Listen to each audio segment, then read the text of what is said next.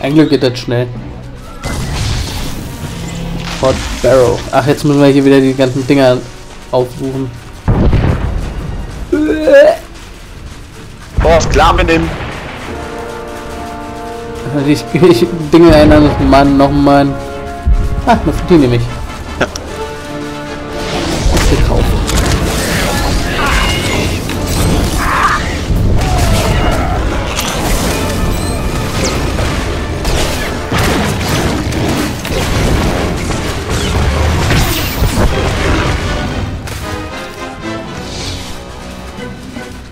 Glaube, hier hinter war schon mal die erste Kiste.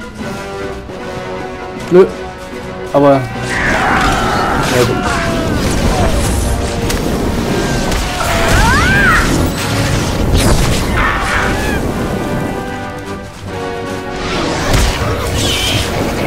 Hier ist auch gar nichts. Voll unnötig.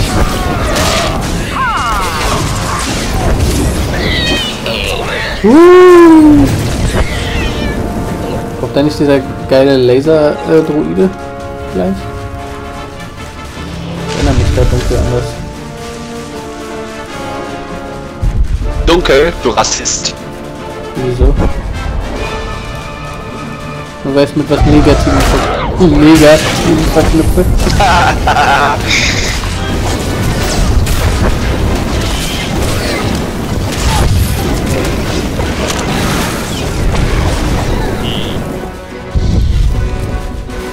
Da vorne ist die erste Kiste.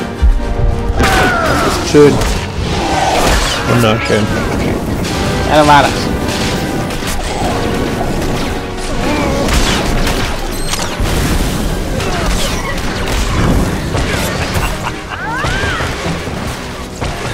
Weil gestern am, äh, wegen dem 1. April kam auch auf dieser Harry Potter Seite auf Facebook so viele blöde Harry Potter Sprüche war.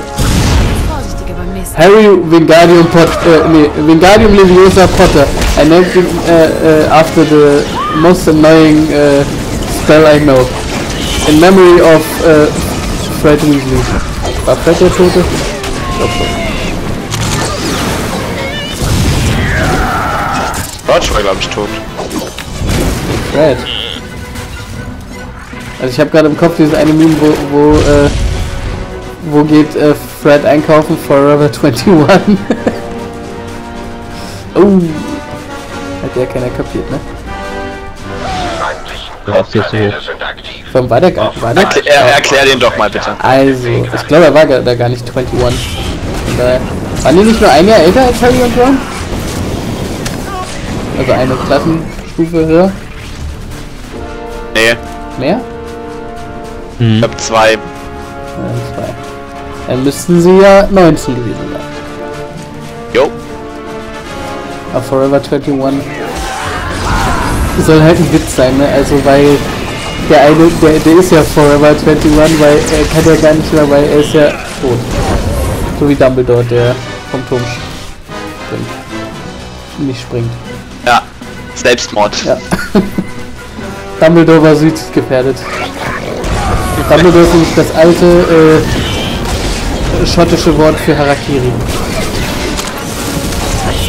Aufgrund dessen, dass seine große Liebe Grantelbart nicht mehr mit ihm, äh, nicht Gra Grantelbart, äh.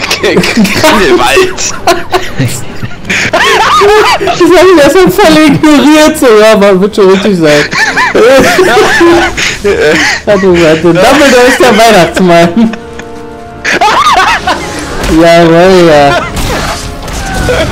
Ah, das ist der falsche Versprecher ever, So, Alter. Marcel, Marcel hat Bock auf Weihnachten und auf äh, die Weihnachtszeit, wo dann wieder äh, Weihnachtsmann und Coca geben Fernsehen. Ne? Ey, apropos, richtig, richtig gute Sache, die mir gerade einfällt. Äh, Kinderserien. Es gab mal eine Kinderserie, wahrscheinlich auf Super RTL oder so, die war so mittelalterlich angehaucht. Und das ist eigentlich schon alles, was ich über die Serie noch weiß. Ist jetzt nicht viel Information, aber ich muss die wiederfinden. Die einzige mittelalterliche Kinderserie, die mir einfällt, ist die Gummibärenbande. Ja, Joe. Das wäre jetzt auch das, was ich gesagt Ja, hätte. äh, auch so mit Rittern, also es war voll awesome und davon kenne ich.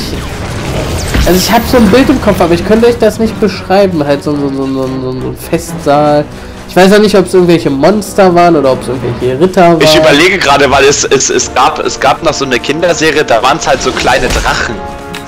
Die haben verschiedene Dinge gemacht. Ja, deswegen. Ich, ich, ich müsste mal nachher googeln. Da habe ich letztens schon dran gedacht, aber verpeilt zu Da, da war ein Drache, der, der hatte immer so eine Mütze auf und hat so getan, als wäre ein Düsenjet. Im Mittelalter. Ja. Nee, ich glaube, das war schon, also nicht ernst, aber halt schon ernstes Mittelalter im Sinne. Also nicht irgendwelche Leute, die, die, die diese tun, als ob.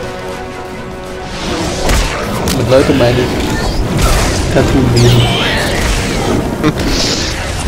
Das hatte auch voll das geile Intro. Okay, alle Kinderserien aus. Also alle Kinderserien aus unserer Jugend. Also alles vor Generation Spongebob war der Shit. Es gibt übrigens ein, ein, äh, äh, ein hier, es gab, gab doch mal dieses Anime-Medley mit Strawberry Cake und dem Robin von YouTube, wie er sich selber nennt. Ähm, da gibt es jetzt auch ein Cartoon-Medley und noch irgendwas drittes. Ah, hier, äh, von irgendeinem YouTuber die Challenge, wo du so Kinderserien-Intros, aber halt nur als Instrumental hast und die mussten dann drüber singen. Und Cake. Hier ist Dark Red Dark. Er hat immer nur so mitgesummt. Warum ist der eine nur äh, Elite und der andere Boss? Das hast du dich beim letzten Mal schon gefragt. Echt? Ja, genau daran kann ich mich noch erinnern, dass du das beim letzten Mal schon gefragt Und warum hast. ist jetzt der eine Elite und der andere Boss? Keine Ahnung, die haben Langeweile. Das Lustige ist vielleicht, äh, ist der andere auch Schnitt? Nee, der andere ist Erntet oder so. Hätte ich das. Vielleicht machen sie es so wie die Schauspieler von, von Fred und George, dass sie zwischendurch mal die Rollen wechseln, ohne dass es einer mitbekommt. Sind Erkan und Stefan, Junge. Nee, es sind Ernter und Schnitter. So macht man einen Witz kaputt. Lernt von mir.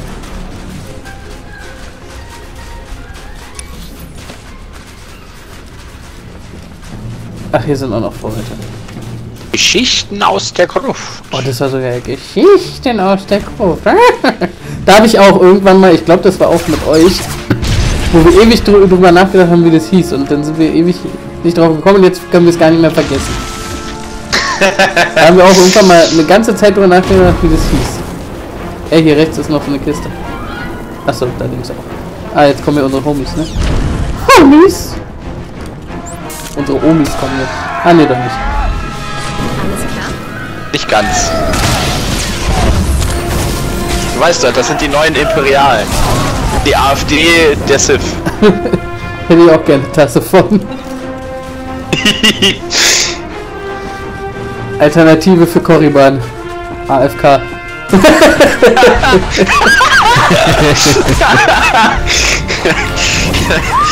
Junge sie da manchmal auch schon die Besten. Ich muss gleich mal auf meinem Tableau googeln. Vielleicht finde ich ja die? Serie. Äh, Kinder, Kinderserie, die man im Mittelalter spielt. Das Wahrscheinlich gibt es ja da so viele, die man jetzt einfach nur nicht auf dem Schirm hat. So 4000 Stück.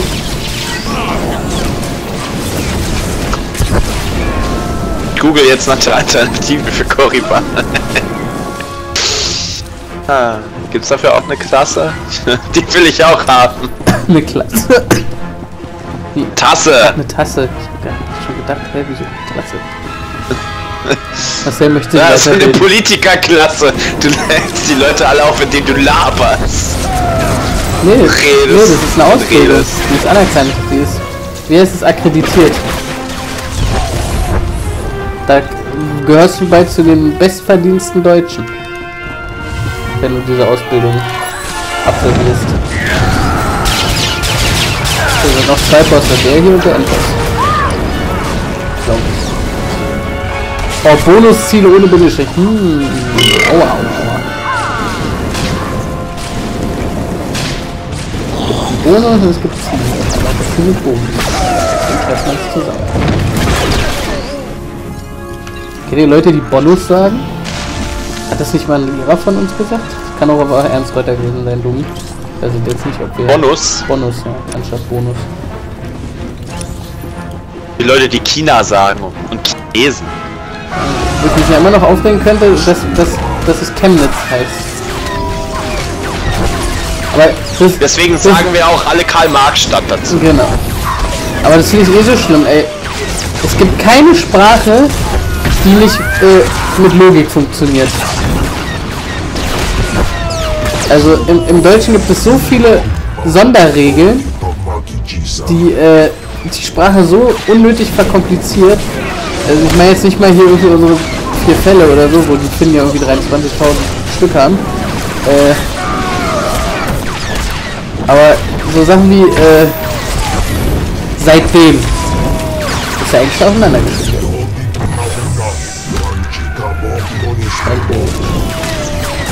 Das ist wie mit je nachdem. Achso, ja, stimmt, dann bist ein Leerzeichen mehr rein. Ja. Ja, oder äh, unter anderem, da müsste das anderem, glaube ich, groß geschrieben werden.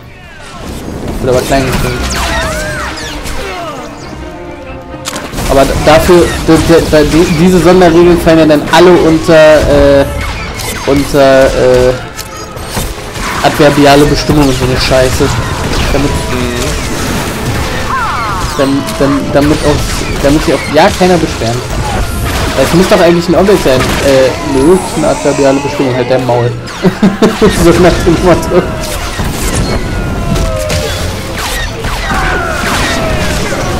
Ich habe übrigens vorgestern erst auf Facebook gelesen, dass äh, Grammar-Nazis Unsympathen sind. Ich bin gerne ein Unsympath. Ja. Grammatik macht frei. Rechtschreibung auch. Ist das nicht ein und dasselbe? Nee, eben nicht. Was ist denn da der Unterschied? Grammatik ist halt Satzstellung und so. Da gibt es auch nochmal eine. Das ist ja genauso wie mit Orthographie. Für mich ist das alles Orthographie dasselbe. ist Rechtschreibung. Na, ist Orthographie nicht nochmal der Unterschied mit Groß- und Kleinschreibung? Ja, ist denn Groß- und das Kleinschreibung? gehört zu Recht. Äh, ist auch Rechtschreibung. mir alles zu kompliziert. Rechtsschreibung. Ja, Rechtschreibung. Hat das mit, was mit Rechtssetzung zu tun? Die schreiben doch und sitzen hier gar nicht.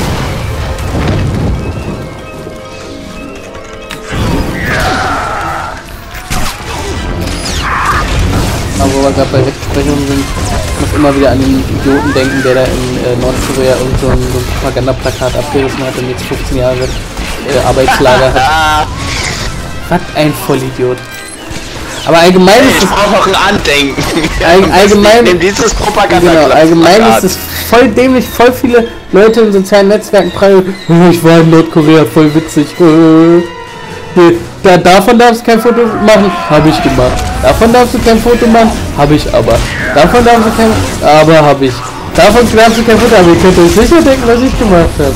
Nee, ich habe kein Foto gemacht, bei Damen hätten sie mich erwischt. Da gibt es dann irgendwie so, so, so Läden, die so für die Einheimischen quasi sind, wo die dann halt ihre, die quasi wie die Ossis für die Bananen anstehen müssen und so. Äh, darfst halt überall keine Fotos, darfst ja als Tourist nur Fotos machen von den, von den Propagandasachen. Also alles, was heile Welt vorspielt. Äh, spielt. Dann kriegst du, bist du wieder zurück in Deutschland, dann kriegst du Post. Ja, sie äh, Werden vorgeladen vor Gericht. Ja, okay, aber also ich bezweifle, egal was, was du verbrichst, du wirst als Deutscher bestimmt nie in, ein, in eine Diktatur über, äh, überführt. Ausgeliefert. Überführen nicht dasselbe. Jetzt ist es dasselbe. Ich hab's jetzt gerade so gesagt. Also ich kann mir das echt nicht vorstellen.